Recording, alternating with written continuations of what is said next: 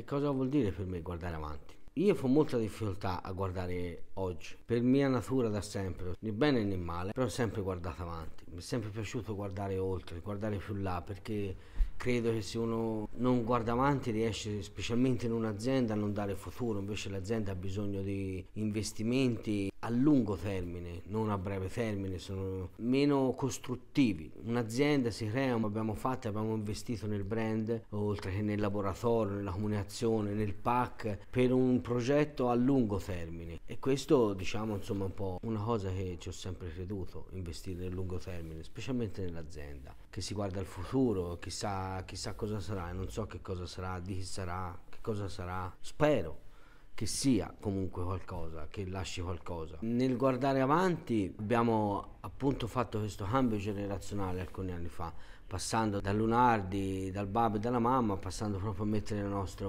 faccia il nostro nome, fratelli Lunardi. E lì c'è stato tutto un lavoro che abbiamo fatto appunto su, sul brand, sul pack, è stato un momento che ci ha fatto guardare lontano, guardare dentro di noi molto, e guardare lontano, perché comunque anche lì bisogna credere in tutto, bisogna essere contenti di quello che si fa, bisogna fare le cose, guardare avanti ma con la nostra strada, con il nostro pensiero, perché è una cosa nostra, può funzionare appunto solo se, se è così. Il marchio è appunto, ci hanno disegnato questi due occhi, che per noi gli occhi sono fondamentali, ci, sono gli occhi che ci guardano, e che ci sentiamo addosso e ci guardano, sono i nostri occhi che guardano avanti, guardano lontano, guardano indietro, guardano, guardano. da qualche parte guardano sempre. e sono appunto questi nostri due occhi. Come mi vedo nel futuro? Spero di essere bravi e capaci di creare su un gruppo che nel futuro dell'azienda mi possa liberare del tempo, del tempo da dedicare a me stesso, a quelle passioni che ho che sono automaticamente riportate verso il mondo del cibo. Ecco, questo mi piacerebbe pensare per il futuro, vorrei essere bravo a costruire questo.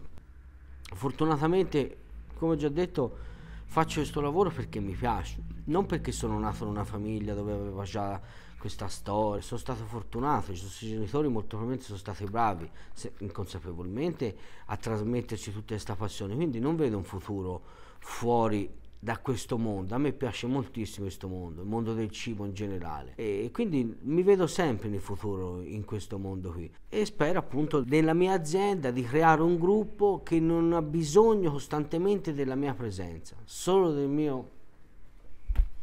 Beh, cosa voglio fare da grande? Da grande abbiamo già fatto dei passi, dei grossi passi in avanti negli ultimi tempi. Abbiamo, siamo passati da un piccolo laboratorio che avevamo da, da una vita annesso al negozio dove producevamo anche tutta la parte della biscotteria, dei cantucci, eccetera. Da qualche anno a questa parte abbiamo strutturato un laboratorio in un modo un pochino più, più fluido e più produttivo, con degli spazi importanti, con tutte le fasi di lavorazione eh, dedicate al prodotto che viene fatto. Eh. Per noi no, insomma, è già un, be- un, bel traguardo riuscire ad avere un laboratorio con degli spazi importanti. Questo è non fermarsi a, al, al, semplice negozio di paese, ma avere una, un'azienda, no? avere un laboratorio strutturato mh, ti permette di avere eh, anche una visione diversa di quello che puoi affrontare, ti puoi permettere di pensare a dei progetti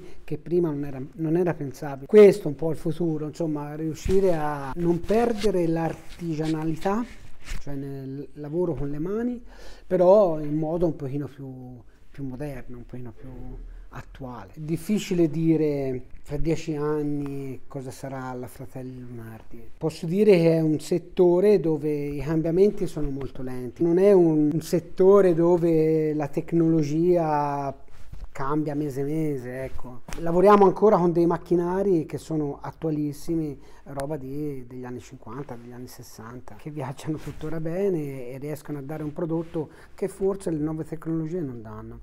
Danno molta velocità, ma non qualità. Poi viviamo in un periodo dove i progetti cadano molto, molto facilmente. Che viviamo dei progetti non a lunghissimo termine, ma viviamo progetti realizzabili progetti con tempi umani e realizzabili. penso che sia la cosa più, più fondamentale, no? l'abbiamo visto negli ultimi tempi. Beh, poi noi siamo un'azienda che fondamentalmente facciamo prodotti da forno, lavoriamo con tucci, i primi documenti storici si, si risale a forse 1600, 1700, si parla di centinaia di anni fa.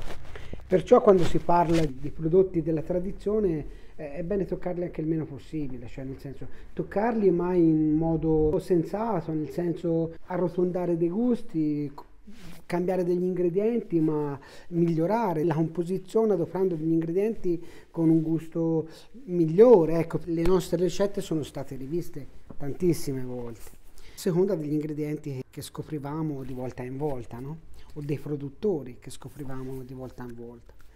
Il fatto di cambiare un sistema di produzione o ritoccare leggermente le nostre composizioni delle ricette è stato ultimamente l'IGP del cantuccio alla mandorla. Ci siamo adeguati al disciplinare per avere per l'appunto un importante riconoscimento qual è l'IGP eh, che ci può aprire com- comunque sia dei mercati che senza quel marchio onestamente è difficile entrare.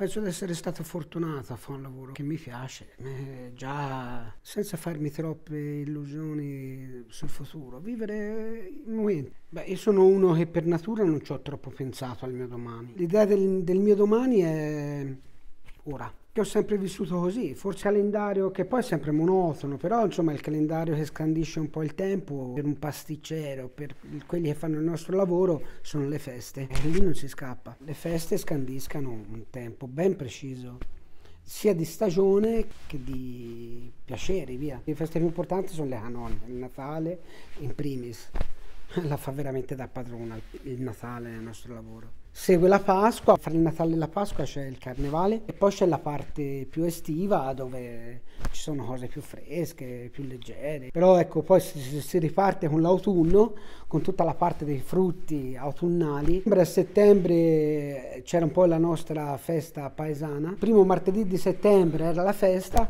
e tutte le aziende di Quarrata, che ce n'era veramente tante, era un polo industriale importante negli anni 60, 70, fino agli anni 90. E non c'era un operaio che rientrava prima della festa del patrono di Quarrata, eh, che quello scandiva costantemente, tutti gli anni, l'inizio poi della stagione.